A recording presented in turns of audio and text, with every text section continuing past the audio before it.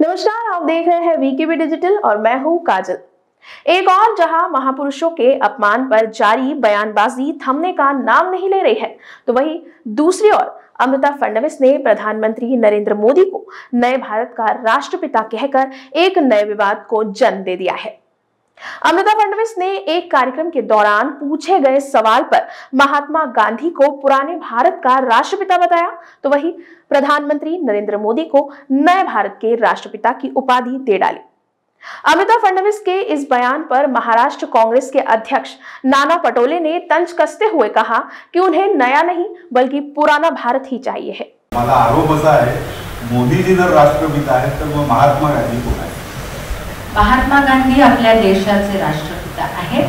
आणि मोदीजी नवीन भारताचे राष्ट्रपिता माझं ठाम मत. आपले राष्ट्रपिता नवीन भारताचे आणि भारत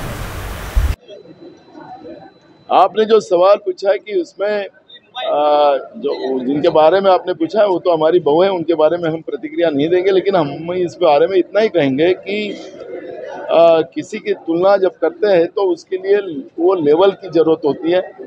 महात्मा और महापुरुष एक हमारे आदर्श रहे हैं और जो हमारे देश के लिए उन्हें बहुत सारा त्याग किया है बलिदान किया है और इसलिए वो महात्मा और महापुरुष हुए हैं। और वो लेवल पर आज की तारीख में कोई नहीं है लेकिन कोई लोग अपने आप को वो उनके लेवल का समझते तो उन वो उनका चॉइस है। अपनी पीठ अपने हाथ से अगर वो ठोक रहे हो तो उनका वो उनका वो आ, उनकी आज़ादी है। और मैं इतना ही कहूँगा कि ये सब बोलते समय में महापुरुषों का और महात्मा का महात्माओं का कोई अपमान ना हो।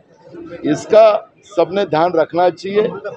और इसलिए आ, नया भारत और पुराना भारत ये कुछ कुछ लोग लाते हैं तो नया भारत में हमने क्या देखा?